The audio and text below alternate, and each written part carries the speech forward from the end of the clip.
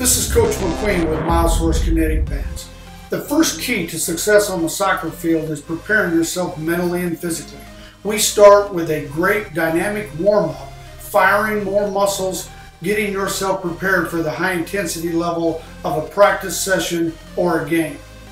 As you can see, this athlete is wearing the Myosource Kinetic Bands.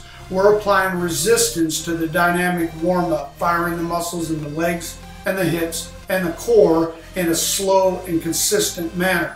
The athlete is moving at a moderate intensity level, preparing himself for a higher level of training to come.